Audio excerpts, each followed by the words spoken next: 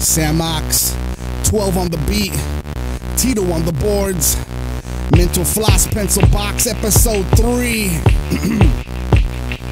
Let's go. I feel it, the very real singe when lava rocks fall from sky. Volcano weather on my feathers flight. Eagle wings stinging, my flutter stutters and nose dives. But unction rise got me focused on the prize. Not about winning or losing, not about perfection, precision, or who's got the most bruises.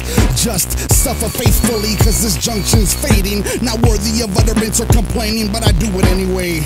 Not just to welcome every backstab, empty martyrdom, or to get the attaboys and pats on shoulder pads, but to lump every ugly injustice on a scale against the eternal weight of glory that will be revealed. Perseverance shown on swole souls immersed in mercy and made whole, throwing out red hot neon glows, making incisions in the dimness, even when evil men turn the lights real low. Laissez faire, free for all, I don't care, feed me Seymour is how weak flesh greedily pleads for more. This wretched flesh is bottomless pit appetite, so desperate I ask God to fill me till I'm satisfied.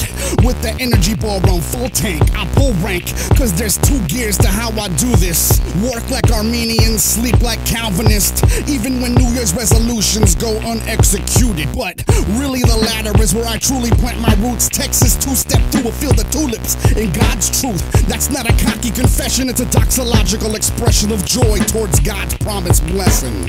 Went from hot box with carbon monoxide carcinogens to lungs filled with pure oxygen. Ah, that marvelous good news. The balm from our sick sin wounds and sarcastic worldview. Double edged swords pierce through the mold and mildew. Flip weapons into scepters and rule like royal priesthood. On the grave of foiled schemes, we stood with no allegiance. DGK, now a citizen of divine kingdoms. What the what are those guys?